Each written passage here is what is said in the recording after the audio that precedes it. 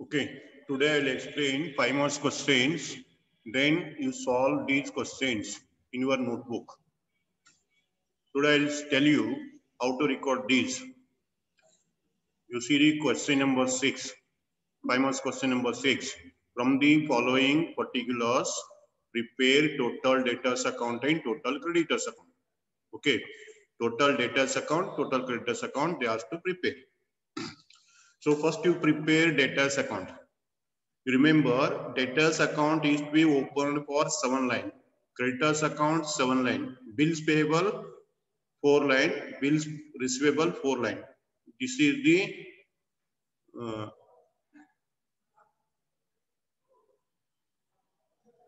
number of lines required to prepare the account.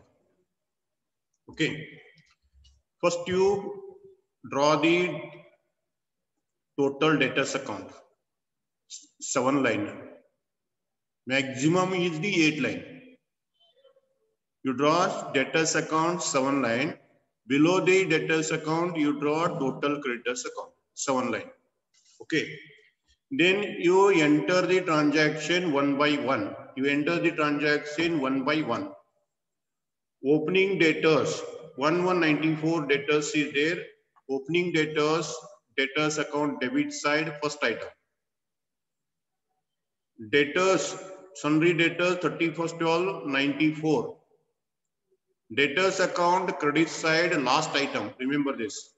Opening should be recorded first, closing should be recorded at the last before totaling.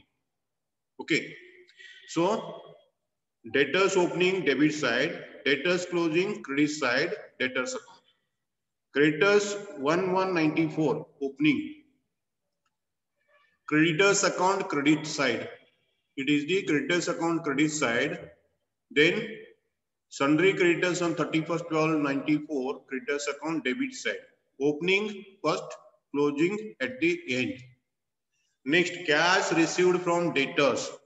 Cash received from debtors decreases the debtors, therefore take on the credit side take on the credit side, debtors account credit side.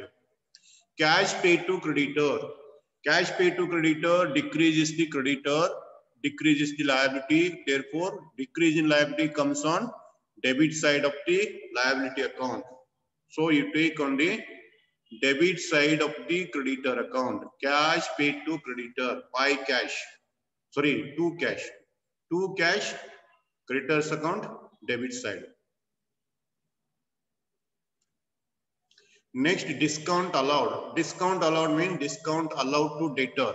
On the basis of this wording, you have to fix. Allowed related to debtors, received related to creditors. Okay. Discount allowed decrease the debtors comes on the credit side of debtors account. By discount debtors account. Discount received from debtor, creditor. Discount received from creditor comes on the debit side to discount. Bills receivable received from the debtors decrease the debtors amount. Therefore, you take on the debtors account credit side. Debtors account credit side by bills receivable. By bills receivable. Okay. Then acceptance given to creditor. Acceptance means bills payable accepted bills payable accepted. Bills payable accepted to creditors means bills payable given to creditor. Then this reduces the creditor's account. In the creditor account, you write two bills payable, two bills payable. Then bad debt means it is the decrease in the debtor. Take on the debtor's account credit side. Debtor, debtor's account credit side. Bills dishonor by debtors. Bills dishonored, bills dishonored increases the debtors account. Increases the debtors, therefore record on the debtors account the debit side. Okay, debtors account debit side. Credit purchase. Credit purchase debtors account. Sorry, creditors account credit side. Credit purchase comes on the creditors account credit side. It increases the creditor. Credit sale increases the debtors. Therefore, it comes on the debtors account debit side. But here is the question mark. Okay. It is a given clue for you people to record. So first you record all the transactions. Take the total of the debtors account. Take the total of the debtors account. Whatever difference comes, that difference is called as to credit sale debtors account. And secondly, you close the creditor account. Close the creditor account. Whatever difference comes, that is called as credit purchase. Okay. That is the answer for the question. Then question number seven. Question number seven, you see, I think it is already solved. I solved this question.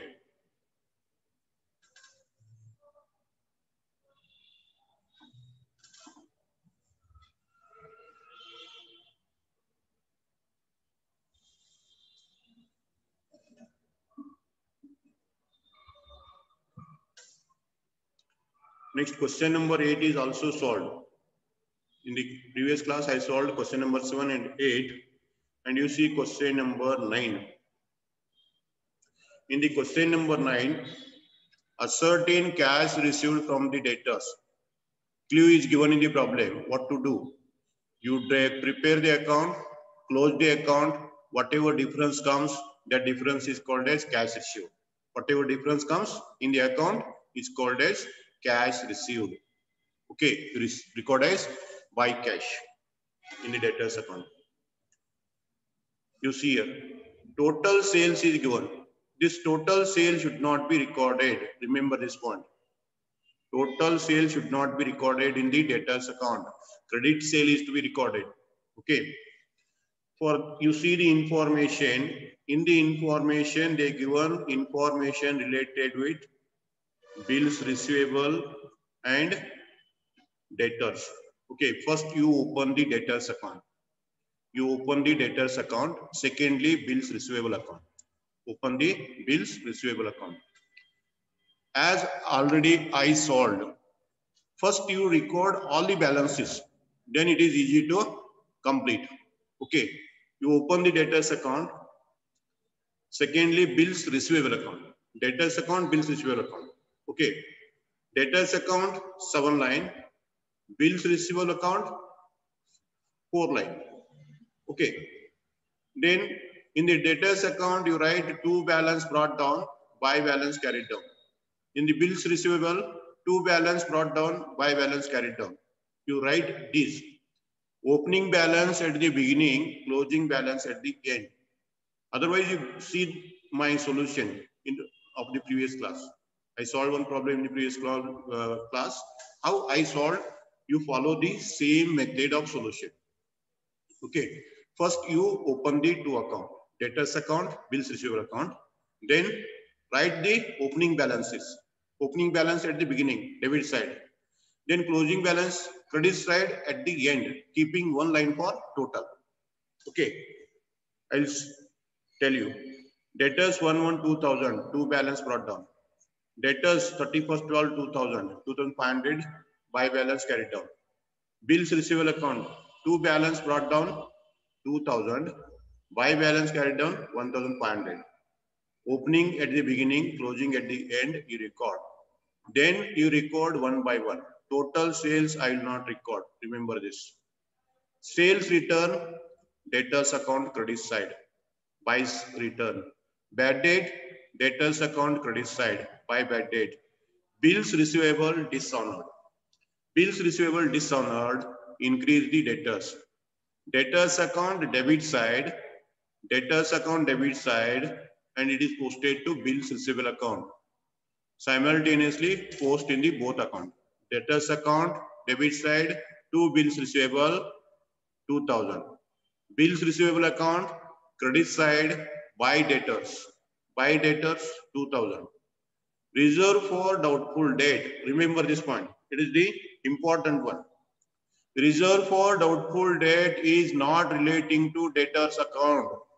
Reserve for doubtful debt is created out of uh, profit. Reserve for doubtful debt is created out of P&L account at the end of the year. Therefore, it is not related to debtors account. Remember, you don't enter this item.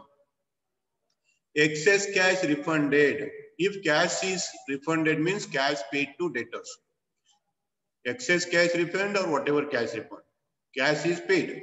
Cash is paid to debtors. If you pay the cash to debtors, debtors balance increases. This comes on the debtors account debit side. Remember this. Excess cash paid to debtors two cash. You record as two cash. In the debtors account, two cash for refund. If cash is given by creditor, debtor, by cash. Excess cash refund, debtors account debit side 2000. Cash received against bills receivable. Bills receivable account, credit side by cash. Okay. Item 4. All the items completed. Then 25% of the total sale is cash sale. 25% of the total sale is cash sale. What is the total sale? Total sale is 1 lakh.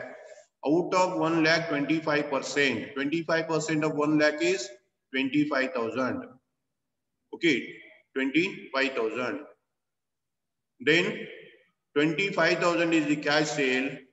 Then remaining is credit sale. So you calculate credit sale. Credit sale is equal to total sale minus cash sale. Credit sale is equal to total sale minus credit sale. So credit sale is equal to 1 lakh minus 25,000. 1 lakh minus 25,000 is equal to 75,000. That 75,000 comes in the debtors account, comes on the debtors account, debit side to credit sale 75,000. You write these items and close bills receivable account. Close the bills receivable account, whatever difference comes, that difference you take to the debtors account. You take to the debtors account as bills receivable. Okay. And then close the debtors account, whatever difference comes, debtors account, that is called as by cash. Difference is recorded as by cash. And lastly, you record cash received as the difference or missing information. Example number 9. Now you see the example number 10. Example number 10 I already solved. This is solved by me in the previous class. Next example number 12 is related with single entry method. It is you studied in your PUC first year class. Studied in the PUC first year class. You can solve this problem as per your PUC first year class. Okay, you go through the PUC first year class notes and solving. Then come to the next. Find out cash received from debtors. Again, the same type of problem. Here total sale is 3 lakh 50,000. Cash sale is 50,000. Cash sale is 50,000. Total sale is 3 lakh 50,000. So you calculate credit sale. Out of total sale, you deduct cash sale, you will get credit sale. Therefore, credit sale is equal to total sale minus cash sale. 3 lakh 50,000 minus 50,000. Credit sale is equal to 3 lakh. You calculate it first. Then open the debtors account and bills receivable account. Sorry, only open the debtor account. You open the debtors account. You open the debtors account. You don't open the bills receivable account because bills receivable account opening balance and closing balances are not given. Therefore, it is not possible to prepare. You open only debtors account. Open the debtors account then first you write the balances. Two balance brought down 50,000 opening balance. Then two credit sale 3 lakh. Difference between these two. Second item you write. Okay. Then by balance carried down credit side last item 40,000. Bills receivable received Debtors account credit side. By bills receivable 1 lakh. Bills receivable dishonored. Debtors account debit side. Two bills receivable 20,000. Bad debt. By bad debt 5,000. By discount 15,000. Provision for bills, provision for bad debt is not relating to debtors account. It is a P&L account. It is a P&L account item. Remember this point. I once again telling you, provision for doubtful debt is a P&L account item. It comes in the P&L account, not in the debtors account. Okay, you write the by discount credit side, then close the account, close the account, whatever difference comes, that is by cash, by cash, simple.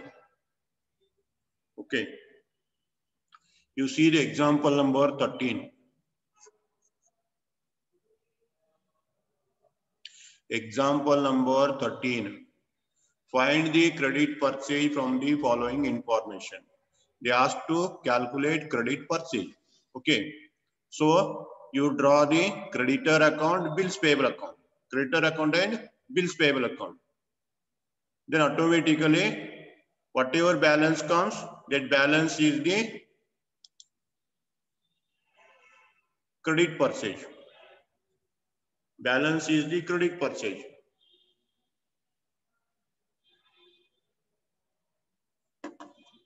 Okay.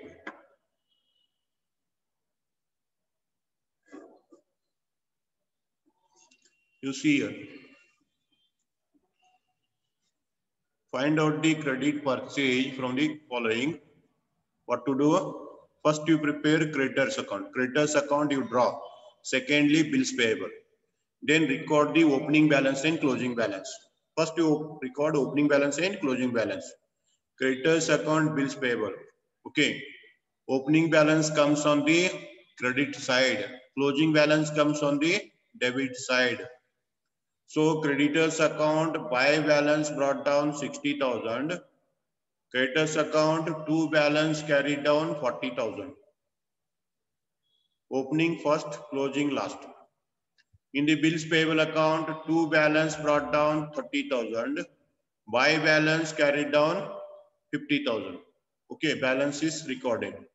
Then you record one by one. Cash paid to creditors. Cash paid to creditors in the creditor account. In the creditor account, debit side. Creditor account, debit side, two cash, 3 lakh. Purchased machinery on credit. Purchased machinery on credit is a asset item. It is a asset item. It will not comes in the creditor account. It is not related to trade creditor. It is related to asset creditor. It is maintained. It, this account is to maintained separately. This account is to maintain separately. So you leave this item. Return outward. Return outward comes on the debit side. Creditor account debit side to return 10,000. Freight charged by the supplier. Freight charged by the supplier increases the creditor. Credit side of the creditor account by freight 20,000. By freight 20,000. Then bills payable discharged. In the bills payable account to cash. Bills payable discharge means cash paid on bills receivable. You discharge means settle the account. Settle the account means you pay cash. So bills payable discharge, bills payable account, debit side 80,000, two bills payable. Discount received, creditor account, debit side, two discount 10,000. Bills payable dishonored, bills payable dishonored, increase the creditor.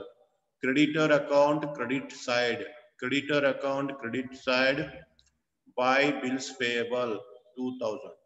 Okay, write the entries completed. Now you close the bills payable account. You close the bills payable account first. Then whatever balance comes, take to the creditor account. As in the bills payable, you write as creditor. In the creditor account, you write as bills payable. Okay. First close bills payable. Then enter the amount. Next goes to creditor account. You close the creditor account and in the creditor account, you write to credit, sorry, by credit purchase. Whatever balance comes in the creditor account, difference comes in the creditor account, that is the credit purchase. Missing information. Okay.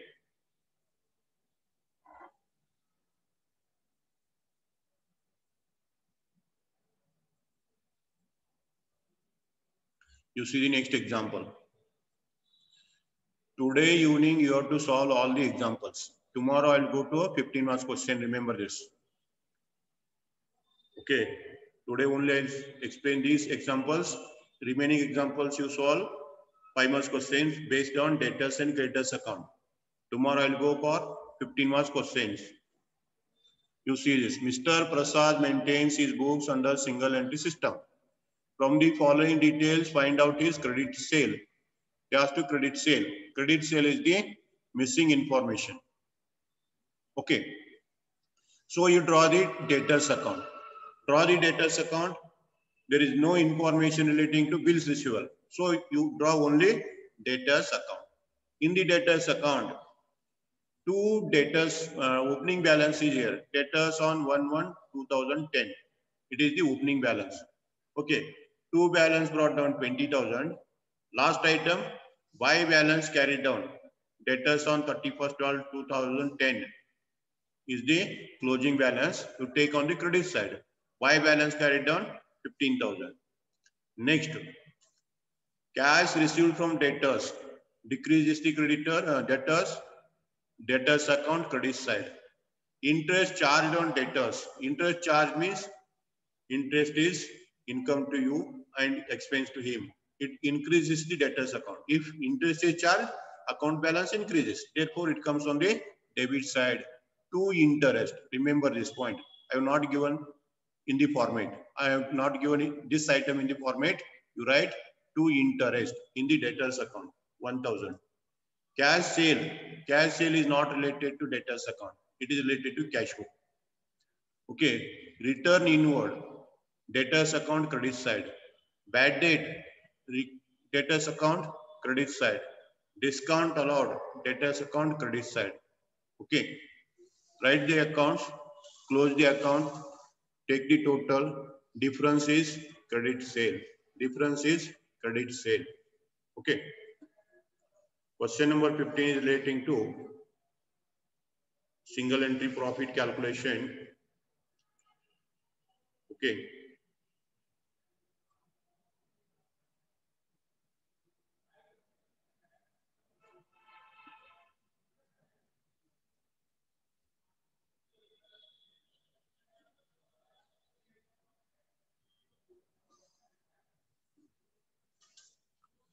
And uh, question number 15 is not related to your syllabus. Remember this. Question number 15 is not related to your syllabus. Wrongly given in the book. Okay. These are the examples I explained regarding the five marks. And you go through the question paper also. You solve the five marks questions. Tomorrow I will take the 15 marks example based on single entry system. 15 marks question I will take tomorrow. Therefore, you get the question exercise printout. You get, you take the printout of the exercise and then only it is easy to understand the lecture. Otherwise, it is very problem to you people. Only looking at the mobile is not enough to you people. Therefore, first you take the printout of printout of the exercise. Okay.